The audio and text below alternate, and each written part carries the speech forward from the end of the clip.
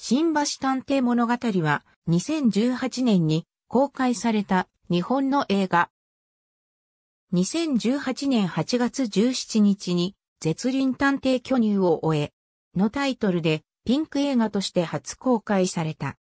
2018年8月27日から OP ピクチャーズフェス2018の一編として再編集され一般公開。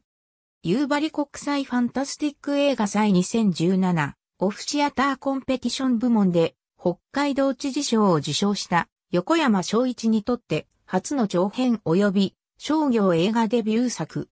自身が受賞した大倉映画創業70周年記念 OP ピクチャーズ新人監督発掘プロジェクト企画の映像化作品。R-15 番の新橋探偵物語と R-18 番絶倫探偵巨乳を終え、とで内容、細かな設定が異なり、濡れ場シーンの増減以外にも追加撮影がされている。舞台には横山の会社勤め時代の拠点であった新橋が選ばれた。脚本は劇団ユニットロリエの奥山優太。俳優陣は大学時代からの舞台仲間を集められている。2019年3月16日には単独作品として一般公開。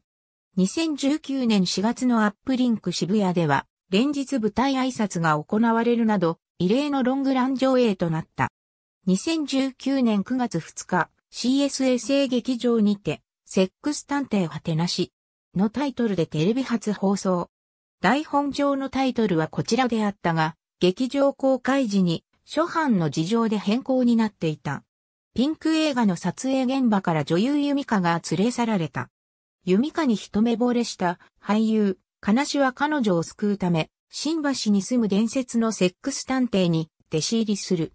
相棒を引き連れたセックス探偵とその仲間たちが繰り広げるファンタスティックなドタバタラブコメディがスタートする。ありがとうございます。